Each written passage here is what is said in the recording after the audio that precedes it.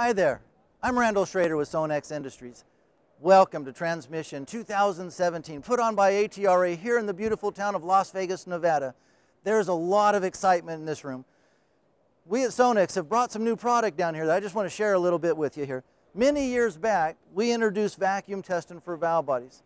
Now, what this allowed us to do was to actually put a numerical number on every single valve so we can actually determine how big a leak was, as well as how to assure that it was fixed when we're done. Now, the testing required that you did an individual test plate to go around the valve body. It takes a little bit of time, takes a little bit of skill level as, as you start to learn these processes.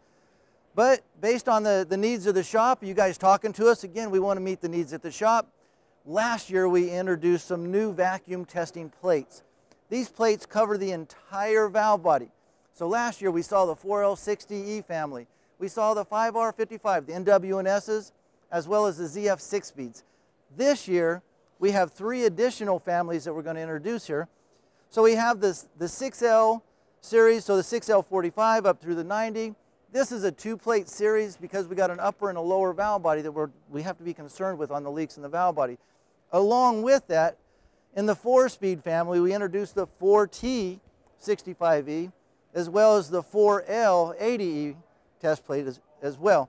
Now what's nice on these plates is it fits over the entire valve body so I don't have to move from bore to bore to bore to do the test. I actually, once I put the plate on there, I just put the pin in, it's going to give me a number. And based on that number, the nice thing is, along with it comes these worksheets. The worksheets list out the names of the valves. They list out the orifice that we're actually going to test. But it gives us these columns. These columns help us right here. They give us the ability to document every test that we do based on documentations, we can create what valves we know we're wearing or not wearing. So in the shop, with the addition of the actual test vacuum test plates, you're going to find the test valve body time is just rocket fast.